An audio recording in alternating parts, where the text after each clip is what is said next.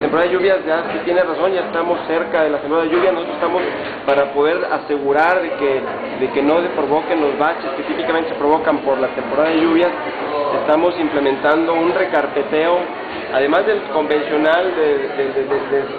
de, la, del vamos, rebaje de 2 centímetros de la carpeta asfáltica para la,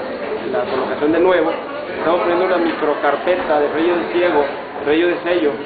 con, este, para poder tapar esas microgrietas o grietas que tiene el asfalto y evitar la, pues, la presencia del bache. Los habitantes cuando vean algún bache, ¿dónde se pueden